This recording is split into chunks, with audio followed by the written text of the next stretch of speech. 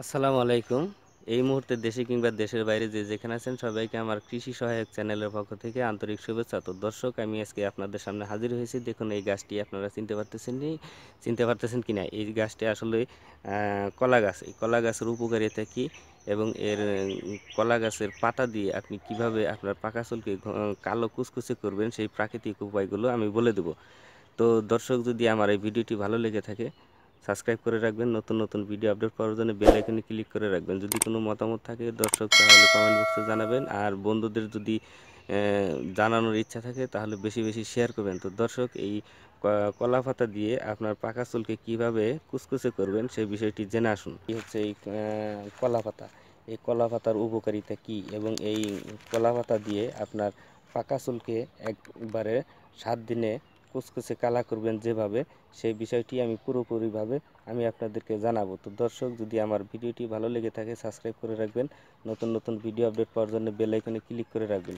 তো দর্শক, যেভাবে আমরা এই এই কলা পাতা দিয়ে, এই পাতাটা দেখুন এটা হচ্ছে কলা পাতা। এই কলা পাতা দিয়ে আপনার পাকা চুল কীভাবে কালা কুচকুচে করবেন সেই বিষয়টি পুরোপুরিভাবে ভিডিওটি না টেনে দেখুন।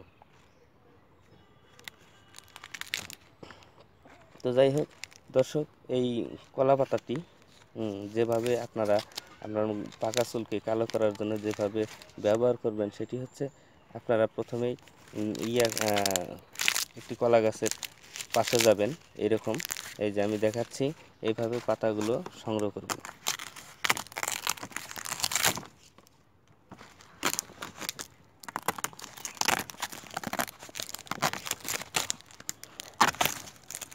পাতাগুলো এইভাবে সংগ্রহ করবেন।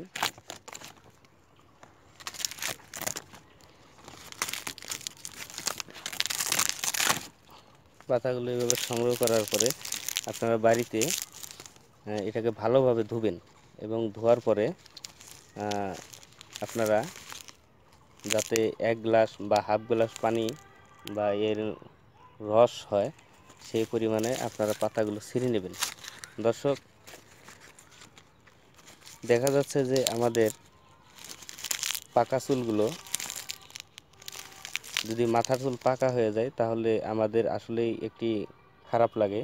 যেহেতু বৃদ্ধ বয়সেও যদি চুল পাকে, তারপরেও খারাপ লাগে। এখানে শুধু বৃদ্ধ বয়স না, আমাদের মহিলা বা মা বোনেরা বা ভাইয়েরা, এরা যারাই হোক, যাদের চাল চুল পেকে যায় বা এই চুল পেকে যাওয়ার কারণে কোনো সলিউশন না পাওয়ায়, না পায় এবং বিভিন্ন ধরনের তেল ইউজ করে, তেল ইউজ করার পর এই আপনার পাকা চুলগুলো কালো হয় না।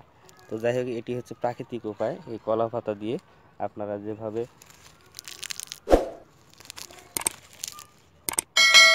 আপনারা যেভাবে আপনার চুল পাকা পাকাগুলোকে কালা করবেন, সেটি হচ্ছে আপনার হাফ গ্লাস হাফ গ্লাস রস যাতে হয়। বা পানি যাতে হয়, সেই পরিমাণে আপনারা কলা গাছ এভাবে নেবেন, কলা পাতা কলা পাতা নেওয়ার পরে ভালো করে ব্লেন্ডার করবেন বা অথবা সেচবেন পাটায় বা ছেঁচার পরে আপনার যে আধা গ্লাস পরিমাণে আপনার রস হবে, সেই রসটি একটি পাত্রে রাখবেন। পাত্রে রাখার পর দেখবেন যে আর এই পাত্রে রাখার পর আপনি খেয়াল রাখবেন যাতে কোনো প্রকার ময়লা আবর্জনা না থাকে এবং আপনারা এই আধা গ্লাস পানিতে এর রসের, যে আধা গ্লাস পানি, সেই রসের আপনার আধা পোয়া, সরিষার তেল দিবেন। সরিষার তেল দেওয়ার পরে আপনারা এই তেলটি একটি পাত্রে রাখবেন।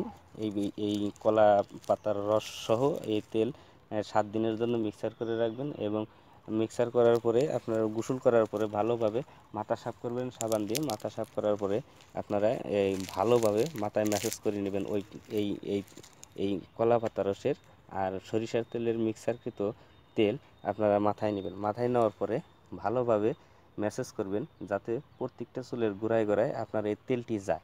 তেলটি যাওয়ার পরে যখন তেলটি যাবে তখন আপনারা এভাবে সাত দিন ব্যবহার করবেন। সাত দিন ব্যবহার করার পরে দেখবেন যে আপনার পাকা চুল কালো হয়ে যাচ্ছে।